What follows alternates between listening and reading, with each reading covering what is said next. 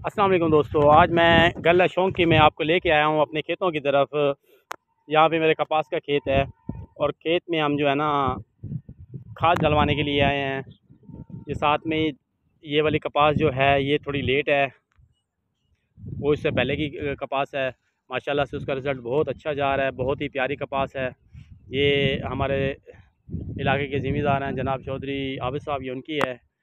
ये कपास जो लेट है, ये हमारी है। और इसमें हम खाद डलवा रहे हैं। तो आप दुआ कीजिएगा, अल्लाह पाक अच्छा फल दे हमें इसमें से। फ़हीम और आसिफ कपास पे खाद डाल रहे हैं। तो मैंने सोचा मैं खेतों की तरफ़ आया हूँ तो आप लोगों को अपने खेत और कपास दिखा दूँ। ये माशाल्लाह हमारा साइड एरिया है और यहाँ पे बहुत ही अच्छे खेत और कपास और और भी जो है ना, यहाँ पे गंदम भी होती है और गन्ने की भी काश होती है। तो आज गल शौकी में, मैंने आपको अपने खेत दिखाए हैं आसिफ और फ़हीम के साथ।